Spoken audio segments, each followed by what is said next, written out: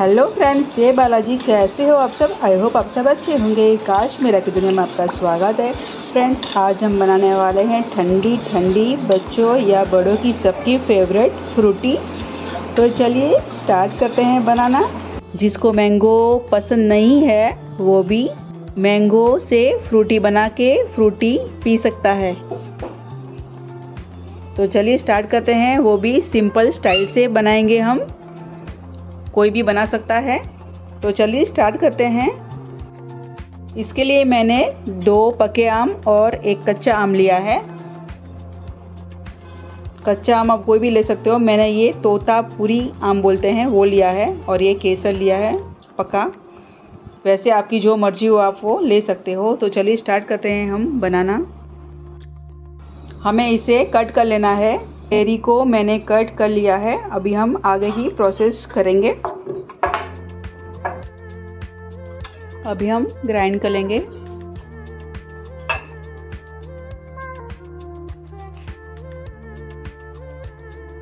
पहले हम पका हुआ आम ग्राइंड करेंगे।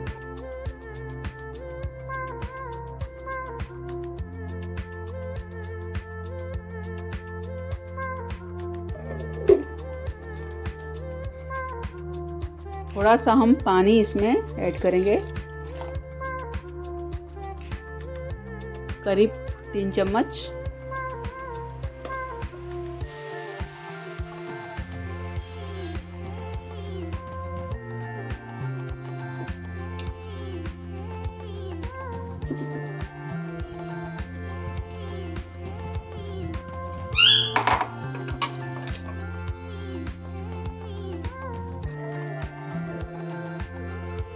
तैयार है फ्रेंड्स मैंगो पल्प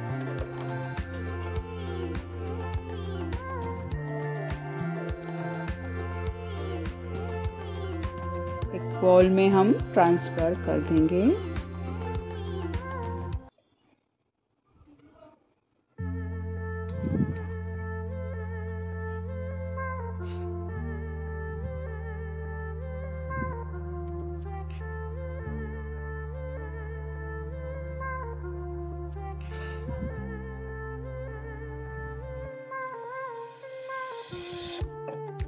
हम कच्चे आम को ग्राइंड करेंगे।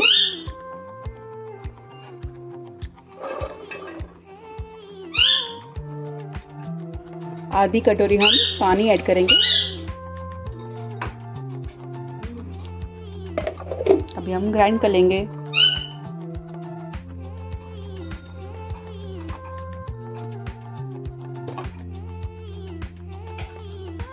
अभी हम इसे बॉल में निकाल लेंगे।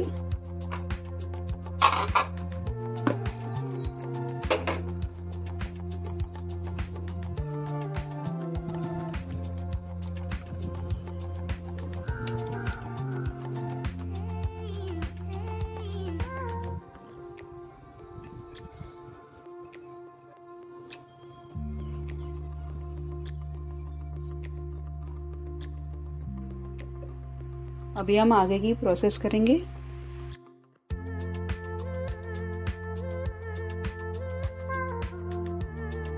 गैस ऑन करेंगे।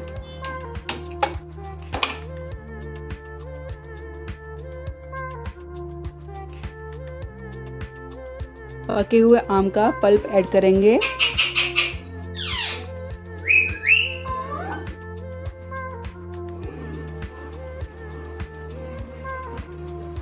अभी हम कच्चे आम का पल्प ऐड करेंगे।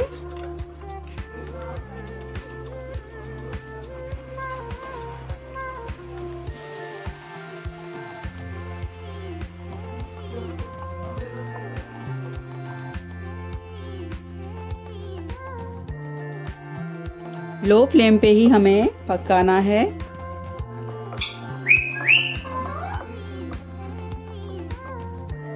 आधी कटोरी मैंने इसमें पानी ऐड किया है।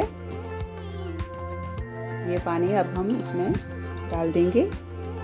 शाइनी ना हो जाए, तब तक हमें इसे पकाना है। लो टू मीडियम फ्लेम रखना है हमें। पाँच मिनट हो गई है। अभी हम इसमें चीनी ऐड करेंगे। चीनी हम एक कटोरी लेंगे।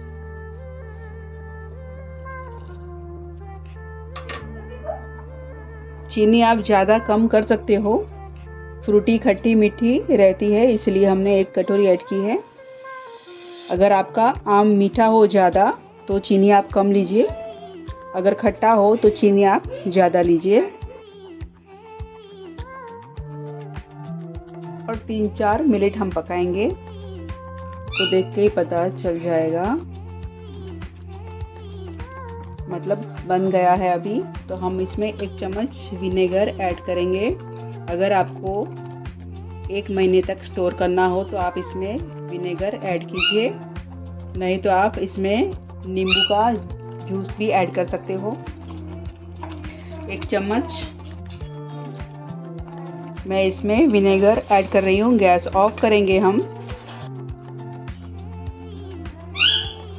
विनेगर ऐड करेंगे तो एक महीने तक आप इसे स्टोर कर सकते हो। नहीं तो इसे आप 10 दिन के लिए तो स्टोर कर सकते हो।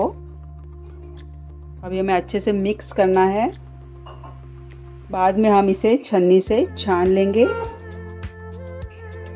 तो तैयार है फ्रेंड्स अभी हम ठंडा होने के बाद इसे छान लेंगे।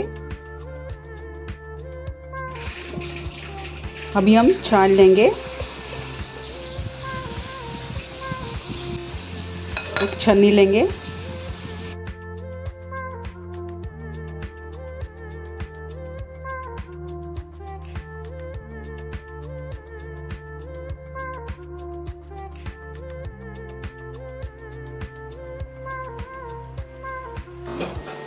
ऐसे हमें सभी पल्प को अच्छे से छान लेना है। अच्छे से मैंने छान लिया है। अभी हम इसमें एक लीटर पानी ऐड करेंगे। अगर आपको ऐसे ही स्टोर करना हो तो इसी स्टेज पे आपको स्टोर करना है इसे वन मंथ के लिए। स्टोर करने के लिए या तो एक चम्मच आपको नींबू का जूस ऐड करना है, या तो आपको एक चम्मच विनेगर ऐड करना है। अभी हम इसमें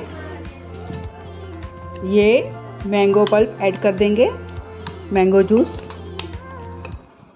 इससे हम अभी फ्रूटी बनाएँगे।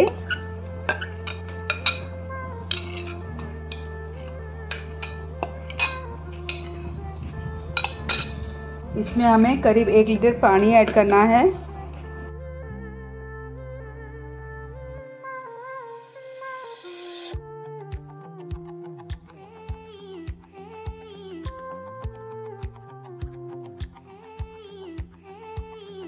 आप इसमें आपके टेस्ट के हिसाब से इसमें आप पानी ऐड कर सकते हो। चलिए फ्रेंड्स सर्व करेंगे ठंडा ठंडा फ्रूटी